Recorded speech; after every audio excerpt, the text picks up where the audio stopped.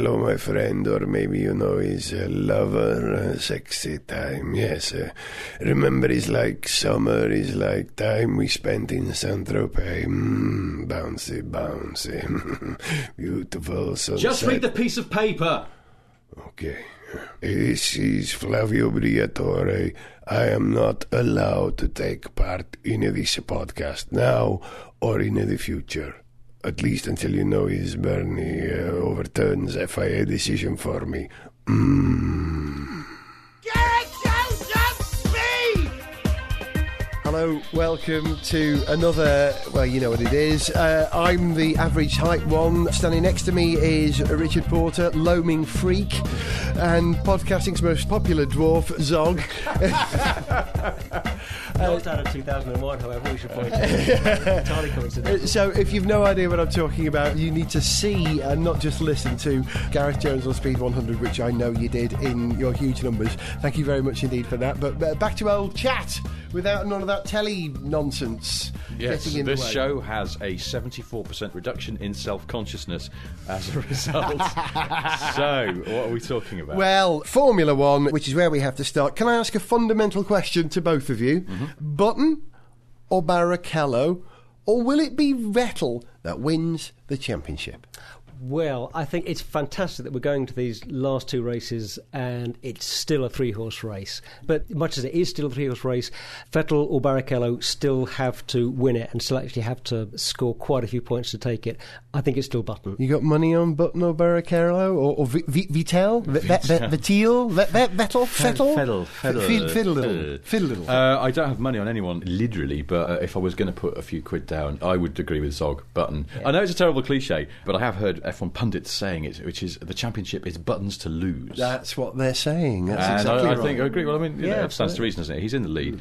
As long as he doesn't monumentally screw up, then he should just sit. But it does worry me, and have we touched on this on the show before, that it could be one of those seasons where the World Championship is seized at the last minute by a bloke coming in sixth. In one of those sort of slightly damp endings to the season. Yeah, yeah, that's It's a shame. It would be nice to see some glorious overtaking manoeuvres from a patchy qualifying session to take a win and seal his championship. That would be great. I don't imagine it's going to happen. How many championships, oh, if you look back, actually, you know, how many championships are won in kind of those perfect races where the guy wins the last race of the season or wins a Well, significant race, Damon. you know, as opposed to it, uh, you know, being a, a slightly sort of I don't know, what squib happened in fifth place. But or- 2007, what exactly happened there? Lewis lost it by Lost one it point. by one point. Now, but then did can't remember. Did Kimi. Raikkonen win the last race? I forget. I think he didn't. I think it was Massa, and he had the, the outfit on, didn't he? He had the Brazilian coloured outfit on rather than the Ferrari uh, race, Aye. race suit. It was his win, and it was a glorious it. win. Yeah. yeah. Of course, God, it's how, how quickly you forget. Yeah, I- this is it the just trouble, me yeah. It No. all jumbles into one. Yep, that's Yeah, the but trouble. I get really confused. yeah, I tell you, I'm looking forward to seeing Schumacher in the Benetton. See how confused I am. I did have one sort of thought though, watching the last race. I don't believe for a moment that anybody manipulates races for the championship to produce, you know, dramatic finishes and to sort of, you know, keep the drama going throughout the season. yeah. Um, but we, but we've had a couple of incredible years where, you know, if you, you know, if you, if you wanted to write a script for the season, you know, you couldn't do much better in terms I of the heard drama. an interesting bit of gossip from now. Which was the race where the timing went down in qualifying? That was Um, two before races Singapore, was it Two or three, Valencia? two or three, Valencia or wasn't it? Hungary. I can't remember, but anyway, you Hungary. remember- it was Hungary, wasn't it? Where the timing went down, and there was this sort of at the end of qualifying. Yeah, they were earth's getting out of cars and on? going, Yeah, oh, well, hang on, how did you? where No, we know. What- what- what? You did a 132? You did a, I did a 131. Oh, f- hell. That was Yeah. the moment I remember. That's exactly what happened. Yeah. Those are the very words. I know, I know. Yeah. It was brilliant, wasn't it? This is that kind of thing. I do remember. But I heard some gossip that apparently, and I hasten to add that this was all done in jest, as far as I'm aware. The drivers were all in a room, and Bernard Ecclestone walked in with his palm out and went, Right, let's start the bidding. Who wants to be on pole? Now, he was joking. I'm stressing that he was joking. If that did happen, and I'm assured that it did, he was joking. We're not suggesting that Bernie takes cash handouts for people's pole positions, but he did this jest. But then what did happen apparently is then the timing sort of came back on, but then Bernie just walked in and went, Right, you're on pole, you're second, you're third. And sort of just as if he was handing out like a school sports day prize or something. And apparently it was all very weird, and the teams were slightly thrown by it because they used to, you know, microscopically detail data on a screen that tells them who's who's got pole position and so on. I love the way that it's playing out the championship that we watched the Suzuka race, and not a great deal happened in the Suzuka race. Qualifying, on the other hand, was absolutely gripping because of the sheer sense of jeopardy that Formula One often loses. That sense, not just jeopardy to a car staying on the circuit and getting a good time, but the very real sense of jeopardy to people surviving impact. You know, at one point, I think it was Glock's crash, it was one of those rare moments where we were on board. This is the world feed I assume you guys saw around the world. The BBC certainly carried it. We were actually on board with Glock as not only he lost it and then hit the wall. And that's proper television, that mm. is. And mm. I swear throughout living rooms all over the world, people go, oh. Yeah, it was Now- a biggie, wasn't it? Yeah, it was. Talking about the pictures, apart from those moments, I thought the the pictures on the coverage of that race were the best I've seen all season. It was really, really good coverage for that race. It's true that it wasn't the most dramatic race in terms of action on track, but you know what there was to see on track, they didn't miss much, and there was a very good slow mo shots. I wonder what caused that it was- because it's uh, F1 TV is an entity in its own right, and they travel around, so it's the same people, isn't it? Most No, no, not always. It depends. Uh, very often, the local broadcaster just aren't up to the job, and so that's when uh, F1 TV, run by FOM, Bernie's company, Mm-hmm. step in and take over. Although there are many races which are still run by the local broadcaster. Oh, I- really? I I, didn't think it was that. Fuji TV who ran. I could be wrong, but I, I, it's usually Fuji TV. I know things change, and they did a great job. I, I know from experience because, as V will tell you, Violet, who's on a Mac over there, V. Do you remember when we were in Suzuka '99? Was it? Yes, it was. Was it Possibly 99? 98 or 99? Right. We were doing a radio show about Formula One for BBC Radio Wales from Suzuka, billing it as the Welsh Grand Prix. Is there no stopping this boy? And uh, and we had to get a signal down an ISDN line to the BBC studio in Cardiff. Now, this is no mean achievement to get ISDN line work, especially when you've got no idea how these things work 10 years ago. And Violet and I struggled with it and struggled with it. And, and then a very helpful man from Fuji TV suddenly appeared from the commentary box next door. How he knew we were having this trouble, I don't know. But he came in, went, hello, Cardiff, and we were on. so if Fuji can do that and get my programme back live from Japan to Cardiff, they can do anything. That probably explains Do you why was remember so good. back in Good the eighties when it was definitely all local TV doing the Grand Prix? Oh, because yes. there was a distinct difference in the quality of coverage depending on where you were. And I do remember Murray Walker and James Hunt griping about it sometimes, and Murray going, "If the director would actually show us this, you know, you go to." Uh, Esteban Tuero, uh, you yeah, know, well, it'd be like having the an average Grand lap. Prix, and no matter what on earth Senna was doing, the, the camera would just be on him. Even if he'd actually retired and had gone for a wee, the camera would still be on him, even though there was a mighty struggle between I don't know Prost and someone on the track. But no, oh, uh, and Senna's now getting into a helicopter and going home. There we are. We can He's combing that. his hair. But the great thing is that the suspense of Suzuka, you know, one of the problems about Formula One, they always say there's not enough overtaking. I think if there was too much overtaking in Formula One, I think there was only one move in Suzuka, wasn't Mm. it? That was a failed attempt by dear old Sutil. But Oh if no, was- Button did that move, didn't he? he- Yeah. yes, he did, didn't he? Yeah. He got. He, And- it was a bit opportunist, wasn't he? he was, yeah, taking uh, Kovalainen and Kovalainen did well. Um, Yeah, when, when he had his little nudge with oh Sutil again, wasn't it? Or, Oh, possibly. He seemed to have a hell of a weekend. Yeah, but- Um, there wasn't too much overtaking, but that's great. It just adds to the tension for the end of the championship. You know, Yeah. there's still so much to go on. Not much has happened. It's kind of it's on ice for the moment in some respects. So we're set up now for the next two races, which are just going to be phenomenal, phenomenal. I wouldn't put it past Barrichello winning this championship. That's what I believe. he I really- doesn't often go well in Brazil, though. Oddly enough, He hasn't. That's true. Do you think he's a choker? He chokes because it's the home be. race. He's He a could be. choker. Yes. I like that term. My mate Bobby always has a great view on motor racing. He says, you don't want a great start Well, he to a lives at race. Silverstone. Yes, great view. It's Really funny. good. Paddock, his address is one, the Terribly Paddock. noisy though. Sorry, go on. He has a great view. He says a good start to a motor race is fine, but you need a good ending. Mm. And that's what this championship, it had an amazing start. The shock of those Brawns coming out of the box, I mean, faster mm. than everything.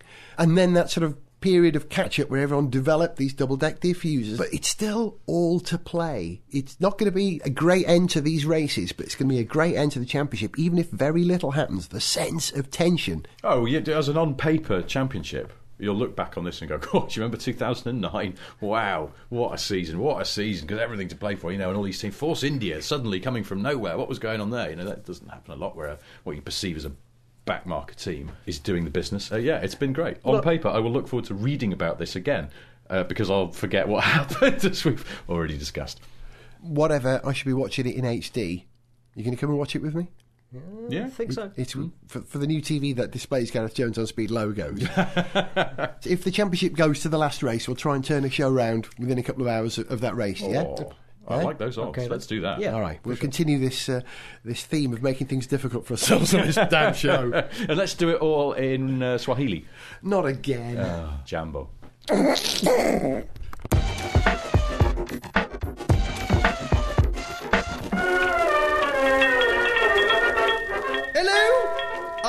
to register a complaint. Hello, miss? What do you mean, miss? I'm sorry, I'm foreign. I wish to make a complaint. We're closing for pit stops. Never mind that, my lad. I wish to complain about this motor racing series, what I purchased not half an hour ago from this very boutique. Ah, yes, the A1 Grand Prix World Cup of Motorsport. What's wrong with it? I'll tell you what's wrong with it, my lad. It's dead. That's what's wrong with it. No, it's resting. Look, matey, I know a dead international single seater motor racing series when I see one, and I am looking at one right now. No, it's not dead. It's resting. It's a remarkable race series, A1 Grand Prix. Excellent sponsorship opportunities. The sponsorship opportunities don't enter into it. It's stone dead. No, it's resting. All right then, if it's resting, I'll wake it up. Hello, World Cup of Motorsports! I got a lovely fresh tribune full of race fans for you. There, it moved. No, it didn't. That was you here in the garage. I never, Yes, you did. I never did anything. Hello, A1GP. Testing, testing. Practice starts in five minutes. Now that is what I call a dead race series. No, it's just stunned. Stunned? Yes, you stunned it, just as it was waking up. International Motor Racing Series stunned easily, you know. Now look, mate, I've definitely had enough of this. That formula is definitely deceased, and when I purchased it not half an hour ago, you assured me that its total lack of movement was due to it being tired and shagged out after a prolonged sponsor day. Well, he's probably pining for the Antipodes. Pining for the Antipodes? What kind of talk is that? Look, why did he fail to get a race at Brands Hatch this year then? The World Cup of Motorsport prefers racing in the Southern Hemisphere. Remarkable car in it. Lovely Ferrari race engine. Now look, mush, I took the liberty of examining that car when I got it home, and I discovered the only reason it had Ferrari written on it was that Maranello had loaned you the blueprints for an F1 car that was five years out of date. Of course it's a Ferrari. Look, it says so on the highly tuned race engine cover. Highly tuned race engine? It's a bleeding road car engine. This is no more a race car engine than I'm a Norwegian blue parrot. I'm telling you, this race series is deceased. No, it's not. It's pining. It's not pining, it's passed on. The race series is no more. It has ceased to be. It's expired and gone to be its maker. It's a stiff, bereft of life. It rests in peace. If you hadn't paid for after teams to be there yourself, it'd be pushing up the daisies from season one. Its metabolic processes are now history. It's off the twig. It's kicked the bucket. It's shuffled off its mortal coil and run down the pit lane and joined the bleeding paddock invisible. This is an ex World Cup of Motorsport.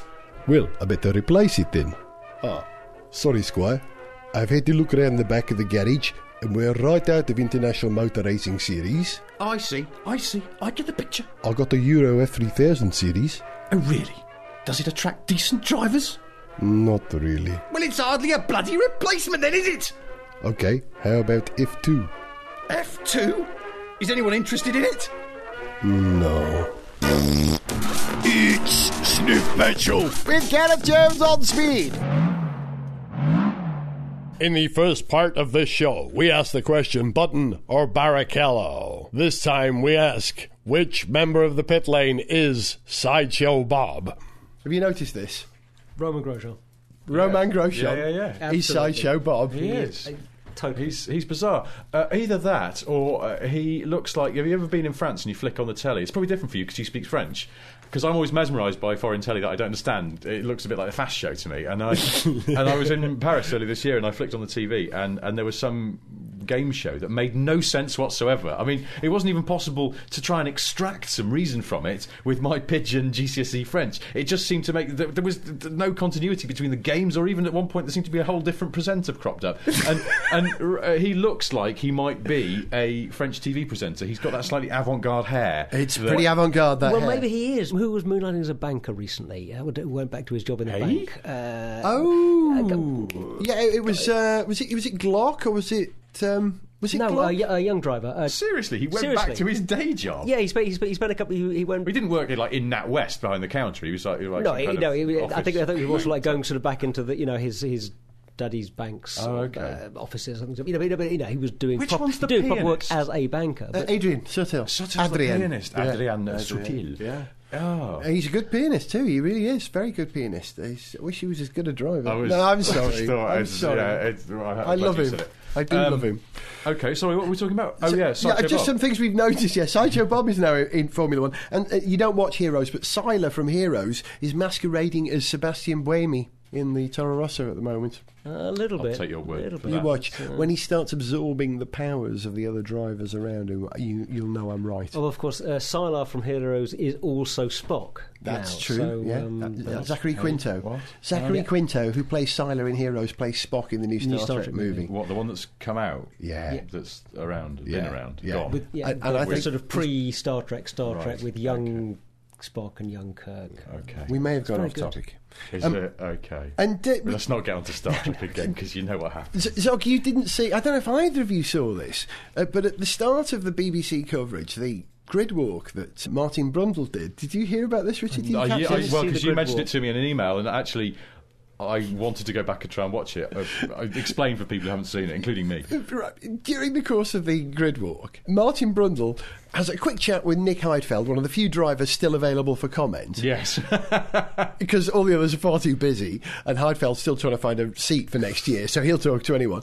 But Heidfeld, with his fantastic "kill the wabbit, kill the wabbit" lisp that he has, said something about yes, he was wanking higher up on the grid than he had normally.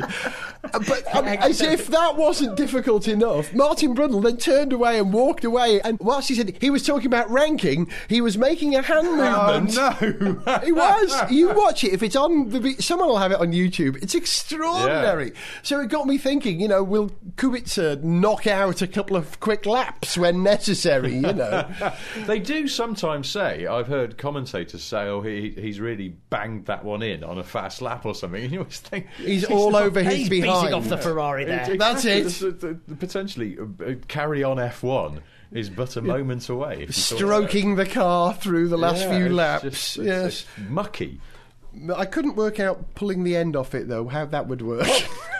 Should we move No, on? I think it's time to Let's yeah, move wrap on. that one up. Okay, what else did you have on your list of things to talk about? Well, uh, these drivers, I mentioned Kubica there, who is now a Renault driver again. yes. Because he won the World Series by Renault, and that's how he got his test in F1 and ultimately got into F1, and he's been very grateful about it. Has he made the right choice? Kubica, we know to be brilliant. We Yes. all agree. No We're not. doubt. Yep, Absolutely. absolutely. No, no, great. Are Renault going to suffer without Flav and Pat Symonds next year? How good are Renault going to be next year? Is the question. Well, I suppose the question is how committed are they to F1? Renault surely have to make a sort of a fairly big strategic decision about whether they carry on doing this thing properly or whether they decide that that was a watershed that means they have to wind down their involvement and whether that means just being an engine supplier or who Well, knows it's the thing. Do you think if they were going to bail out the whole, as you say, watershed of the Piquet scandal, would have given them the perfect opportunity to say, "Do you know what? This isn't worth the aggro. We've lost two of our main people who run our team.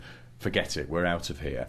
Or do you think that actually that would have just looked like uh, they were sore losers? And, and if there is some kind of high level board decision being made in Paris, they'll sit on it for a bit. But then why announce that they've signed a top level and presumably Yeah. quite expensive driver? Absolutely. Bringing Kubica on board, plus the fact that they got Bob Bell installed as uh, new principal, it seems like you know that they are going to be carrying on. I'm certain they're going to carry on. I think they've got a lot to prove. I think they want to wipe the slate clean and reinvent Renault. It's an opportunity. You've got to turn these things round. You know, Max Clifford should be working for Renault at the moment. He says, "Well, I know it's you've had a bit of bad press, but you can make it work for you here. You know, Yeah, yeah. You can have the book deal on the back of it." so, uh, you know, new, clean Renault, who are completely disassociated from Flavio and Pat, they've got to make it work for them. Is what I'm going to say, and I think that's what they'll do. I think Kubica is the very beginning of it. Who's going to be next to him though? Will it be Heikki? I don't think so because Heikki's been at Renault before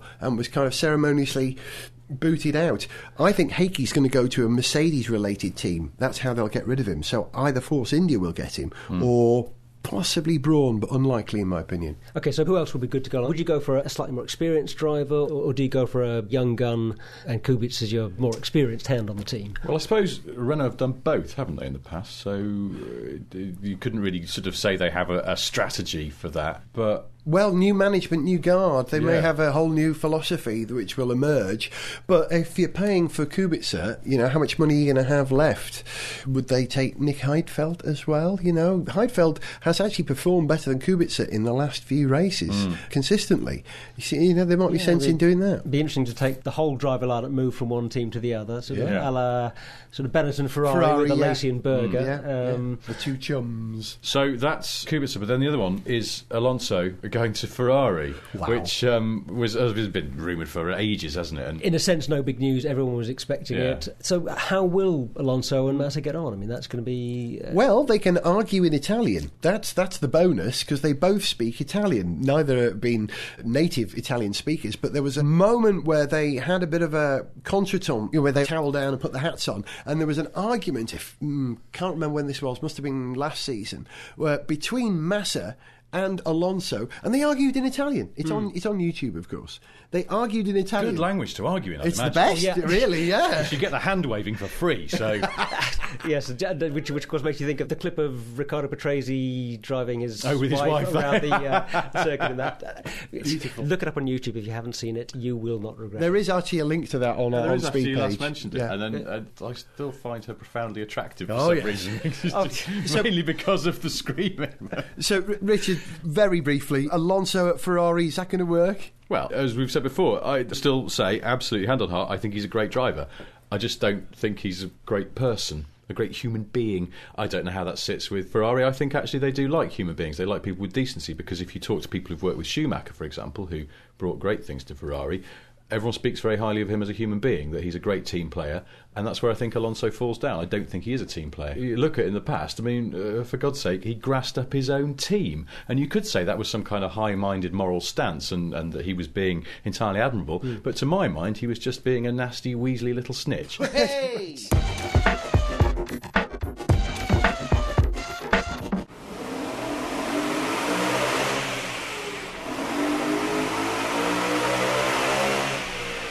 And this, uh, Fernando, is the Nerve Center, the actual workshops where your Ferrari F1 car will be built.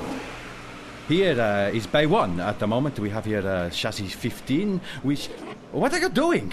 What? Put it back. I don't know what you mean. I, I, I don't see. I, I, I didn't see nothing. The spanner. I saw you slip it into your pocket. Put it back. Yeah, whatever. Uh, this is uh, uh, Alessandro Pagoni, uh, one of our senior engineers. Alessandro Fernando Alonso. Buongiorno, Fernando. We are so pleased that you. What are you doing? What? The end plate that was on this bench? Don't know what you mean. I, I don't know anything about it. I was somewhere else at the time, innit? I can see it inside your jacket. This is Nelson Piquet Jr.'s jacket. Ron Dennis made me do it. Please, Fernando, just put it back. Whatever. Oh, look, uh, he's our test driver. Luca Badoer. Here he comes. Here he comes. He's still coming. He'll be with us in a minute. Yes, making good progress. He. Oh. it's uh, crashed through the shelves again. Hmm. Hey, where's my wallet? I don't know. I'm not here. I see nothing. My cockler made me do it.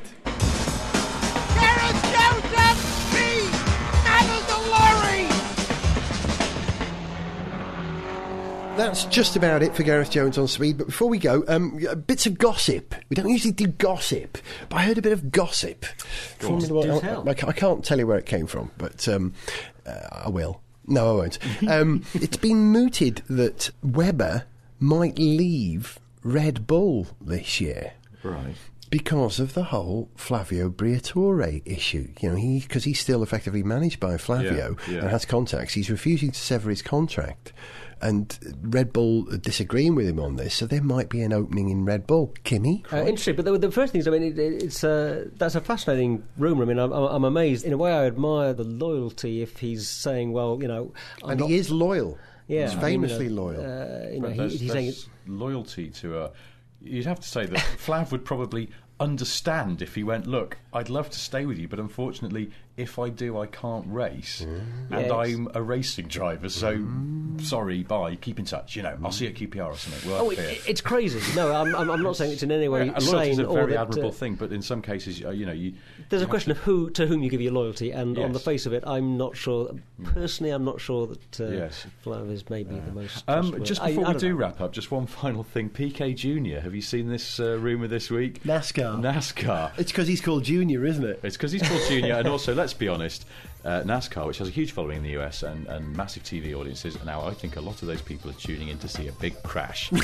They won't. And who's going to serve up one of those, eh? Spot on, Richard. Spot on. And uh, very briefly, Trulli mooted to be having a NASCAR test as well. Did you hear about this? Really? Yes, well- If Trulli goes to NASCAR proper, I'm going to change my name back to Gaz Toff. I swear that is not going to happen. I can't, they'll eat him up. I, Trulli's great, but it's, he's too European, isn't he? He's too Italian.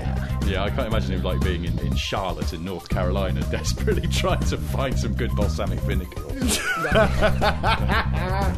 You've been listening to Gareth Jones on Speed with Richard Porter, Goodbye. Zog, Goodbye. and me, Gareth Jones. See ya. To send us an email, see pictures, get song lyrics, join our Facebook fan site, or follow us on Twitter, go to garethjones.tv. Gareth Jones on Speed is made in London by Whizbang.